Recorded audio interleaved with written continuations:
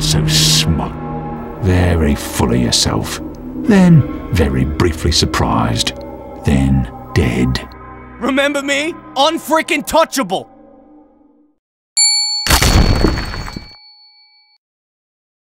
You had a good run, you mongrel.